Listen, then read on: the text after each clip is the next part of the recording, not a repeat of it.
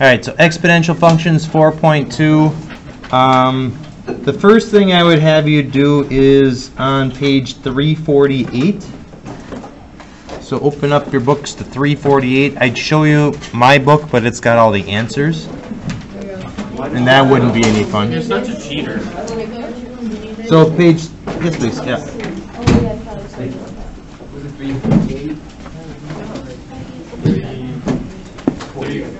See if I can do this here.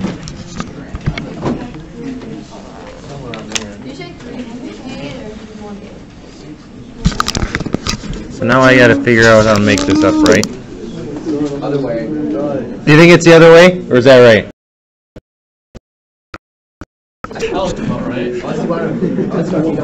This is all, I'm just so glad I'm recording this.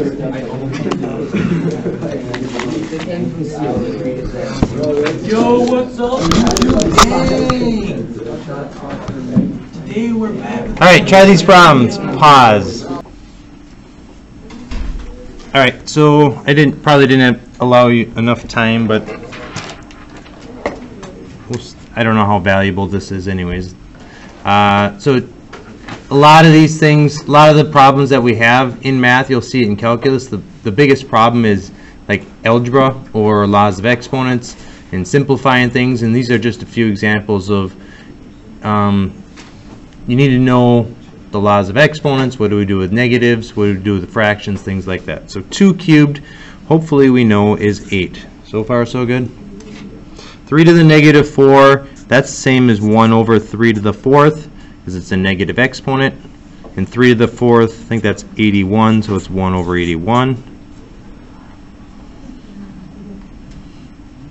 Uh, 2 squared we know is 4 plus 2 to the negative 2, that's the same as 1 over 2 to the second. So it is 4 plus 1 fourth over 2. And here I would multiply the top and bottom by the common denominator. This is like a complex fraction, so 4 over 4. So I get 16 plus 1 on top over 8 on the bottom. 4 times 4 is 16, 4 times 1 fourth is 1, and 8 on the bottom, so we get 17 eighths. Anybody get that? Okay. Was it like four, four, four, four, four, four, four repeating? Um, 17 eighths would be 2 or something. 3 squared is 9 minus 1 ninth over 2. So same thing. What would we multiply the top and bottom by here? 9. Very good. So 9 over 9. So I get 81 minus 1 over 18 or 80 over 18. 40 over 9. which is 4 and 4, 4.4444. So that's what you had, you just different problem, you right? 2 to the, or 10 to the x, so we need to figure out what 10 to the negative 1 is. What is 10 to the negative 1? 1 over 10 to the 1, which is Point one. 0.1 or 1 tenth, right? What's 10 to the 0? Anything to the 0 is 1. 10 to the first, uh, that's a hard one. 10 to the second, another kind of dumb one. uh, 1 half to the negative 1. Two. Okay, so if it's a negative fraction, negative exponent for a fraction, you can flip it and make it positive, so it becomes 2 over 1 to the first, which somebody said is just 2. 1 half to the 0 is just 1. 1 half to the 1 is 1. 1 half to the second is 1 fourth. Alright. Okay, so that's just kind of background skills that might be helpful in this section. Uh, it talks about exponential functions. You've probably, well, you've had this a little bit in math. We're going to dive deeper probably than you ever have. There it is. All right. So let's graph y equals 3 to the x. Well, if you want to follow along, here's how we do it. y equals 3 to the x.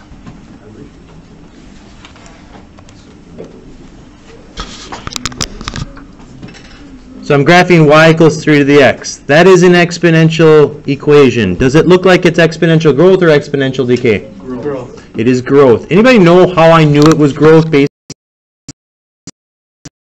on what's positive? The exponent. That's not necessarily true. Okay, the other thing then. They were both positive. So if they're both positive, Yeah. Like you said. well, how about y equals 1 half to the x? Because it's a whole number. So 0.5, I'll do 1 half. I better put in parentheses. It's 'cause it's a whole 1 half to the x. So they're both positive. Okay, you said whole numbers, right? Yeah. Is that right? So I'm comparing y equals 3 to the x fraction that it's going to be exponential decay. That's really close to the correct answer because what if it was like 5 over 2? That's still a fraction, right? Okay, if it's less than one. Very good.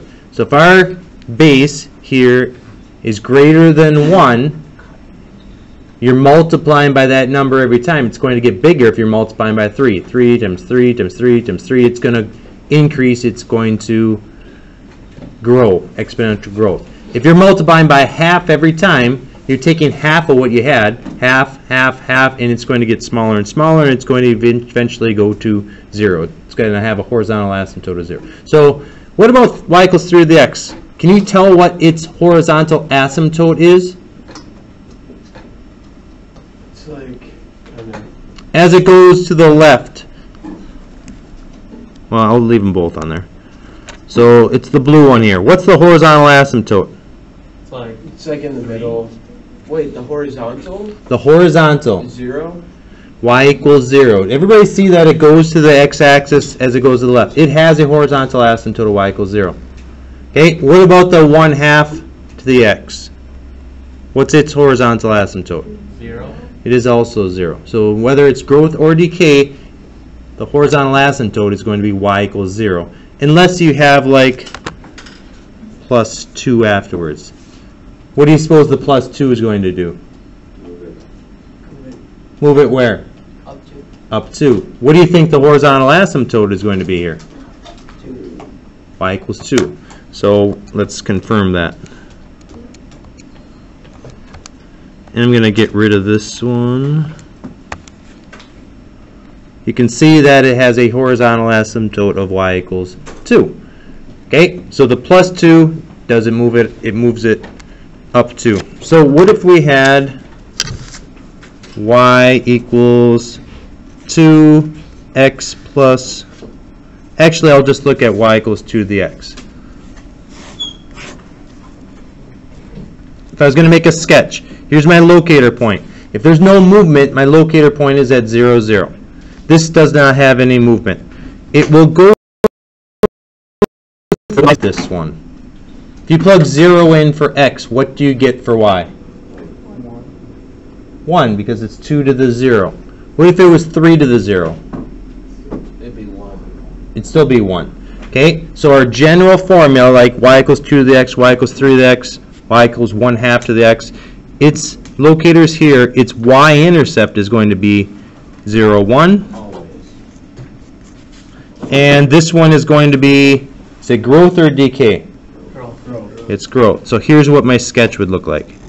And I have a horizontal asymptote at y equals 0. Okay, so that's just kind of a general one, or kind of a parent one. Parent means like the easiest one you can come up with. Yeah, Melina. Um, for it to be positive, does it have to be greater than one or greater or equal to one? Um, if it's 1, if we graph y equals 1 to the x, any thoughts on what, would that be growth or decay? That's a really good question. It would just go straight, wouldn't it? Very good, because you're multiplying by 1 every time, mm-hmm. and you're not going anywhere, right? y equals 1 to the x is just going to be like a, a str- horizontal line. Okay, so it's neither growth or decay if it's 1. So it does have to be greater than 1 for growth and less than 1. Yeah. Yeah, Cadence. What happens when it's negative? So if you have a negative base, well, let's try it. Any guesses? So flip onto the other side. So it'll flip x-axis. I like where you're going with that. So negative 2 to the x just makes everything negative, so it does flip it across the x-axis. Very good. And that's, is this growth or decay here? It's actually growth, it's just a negative exponential growth. Yeah. All right, so here's what you'll have to do. I'll ask you to graph y equals 3 to the x plus 2 minus 4. And you're going to have to make a sketch of that. Okay, you can use your calculators if you want to, but you really don't need to. I will also ask you what the domain is, what the range is, what the x or the horizontal asymptotes. They're never going to have a vertical asymptote, by the way. Exponentials. Okay, so let's start with our locator point. What does this plus 2 do to my graph? Uh, Left 2. Very good, Colton. Okay, so it's left 2, and then what about the minus 4? Down 4. So my locator point is negative 2, comma, negative 4. So if I was going to make a sketch of this, we're going to go left 2, down 4, and I'm going to put a dot. Make it obvious that you made a dot. Oh, that's not really aligned very well. Make it a bigger dot. so- Wait for it. There it is. Okay, now it's landed on it. It's a really aggressive dot. Okay, so this is growth. I've got a locator at negative 2, negative 4. I'm going to draw my horizontal asymptote. My horizontal asymptote is y equals negative 4. And the one point I know it goes through is one up from it, right there. What about my y-intercept? Think about that. Everybody, try to find the y-intercept of this one in your head. You shouldn't need a calculator.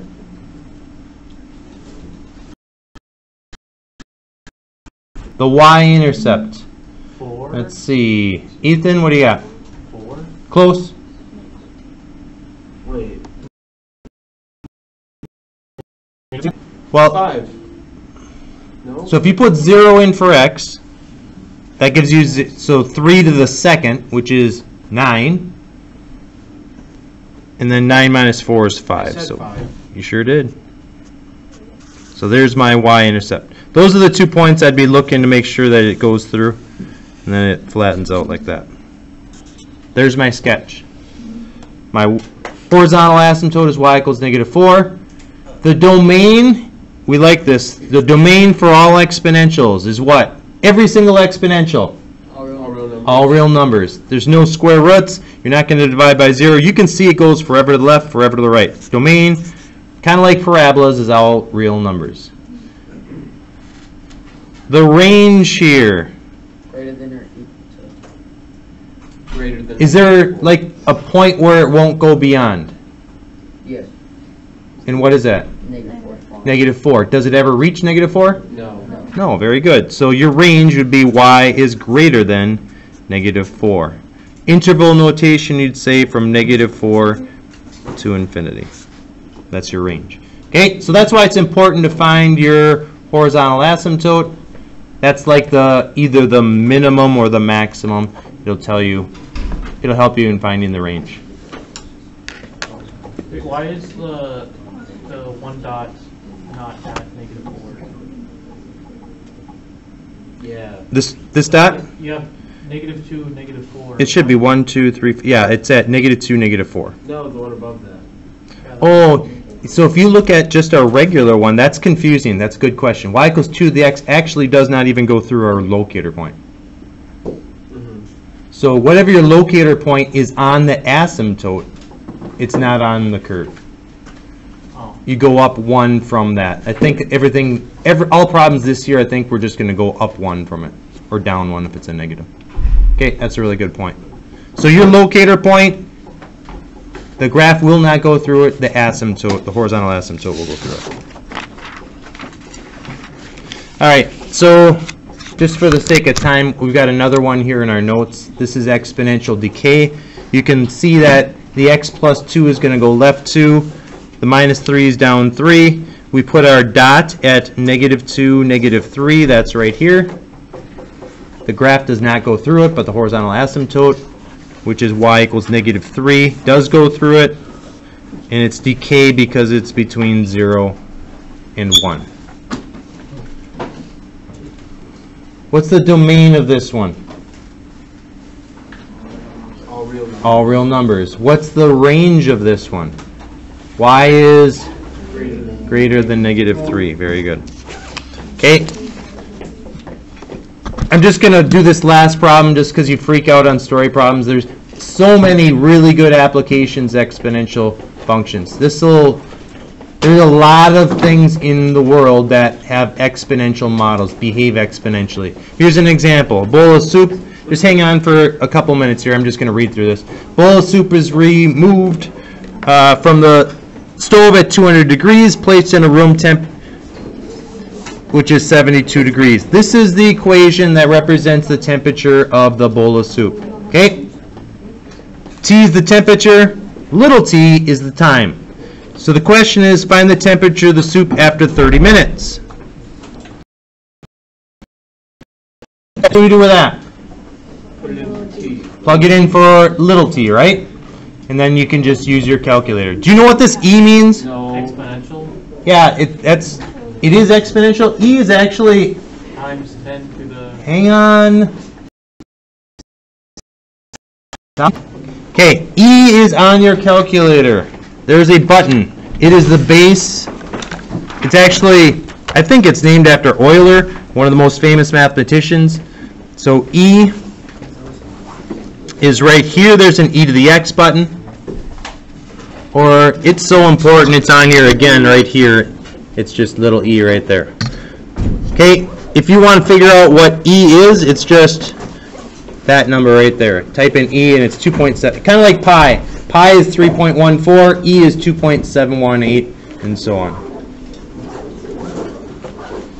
All right, so I guess that's as far as we got. Um, get us, get a good start on your homework. I think this is the only day we're spending on four two. Yeah, we're gonna start four three Monday, but I'll have some questions, I'm sure, on four two.